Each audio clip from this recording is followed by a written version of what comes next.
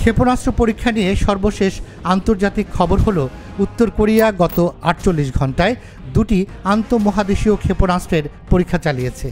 সফল পরীক্ষার পর উত্তর কোরিয়ার পক্ষ থেকে জানানো হয়েছে, শত্রুর বিরুদ্ধে গতিময়তা ও পাল্টা শক্তিশালী আক্রমণের প্রস্তুতি নিশ্চিত হয়েছে। উত্তর কোরিয়ার পক্ষ থেকে আরও বলা হয়েছে যে কোনো শত্রুতামূলক পদক্ষেপের বিরুদ্ধে শক্তিশালী ও অপ্রতিরোধ্য জবাব দেওয়া হবে। আর এই অপ্রতিরোধ বিষয়টিকেই মনে করা হচ্ছে উত্তর কোরিয়া সহ শক্তিধর দেশগুলোর ক্ষেপণাস্ত্র পরীক্ষা চালানোর মূল কারণ।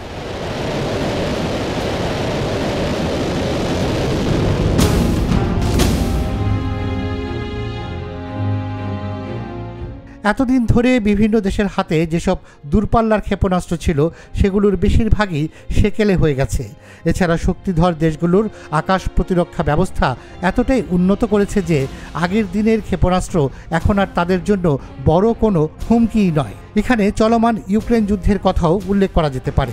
ইউক্রেনীয়রা পশ্চিমা প্রতিরক্ষা ব্যবস্থা হাতে পাওয়ায় রুশ ক্ষেপণাস্ত্র হামলা এখনও অনেকটা সফলভাবেই প্রতিরোধ করে যাচ্ছে। তাই আবার কার্যকর ক্ষেপণাস্ত্র তৈরির লক্ষ্যেই চলছে নানান পরীক্ষা। চেষ্টা চলছে এমন এক ক্ষেপণাস্ত্র তৈরির যা প্রচলিত প্রতিরক্ষা বুজ্জকে ভেদ করতে পারবে। আর এ লক্ষ্যেই তৈরি হচ্ছে হাইপারসনিক মিসাইল, যা চিহ্নিত করা বা মাঝপথে ধ্বংস করা খুবই কঠিন। এটি উৎক্ষেপণের পর দ্রুত উপরে উঠতে পারে এবং নিচে নেমে এসে নিজেই গতিপথ পরিবর্তন করতে পারে। অর্থাৎ এটি কোন দিকে যাবে তা আগে থেকেই অনুমান করা সম্ভব নয়।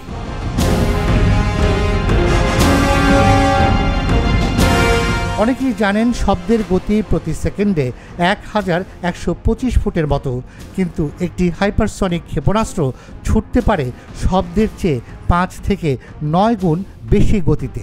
এ থেকেই বোঝা যায় এটি কত দ্রুতগামী এবং এর মোকাবেলা করা কতটা কঠিন।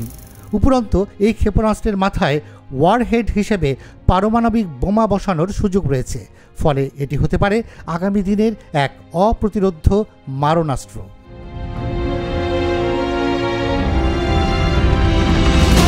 সম্প্রতি রাশিয়া জিরকন নামে যে মিসাইল টেস্ট করেছে, তাকে বলা হচ্ছে এটি একটি নতুন প্রজন্মের মিসাইল সিস্টেম বা হাইপারসনিক।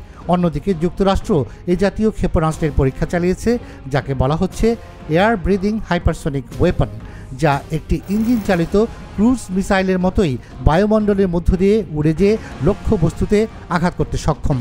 এদিকে ধারণা করা হয়, চীনও এই জাতীয় মিসাইল পরীক্ষায় পিছিয়ে নেই, তবে এ নিয়ে তারা এখনও গোপনীয়তা অবলম্বন করছে।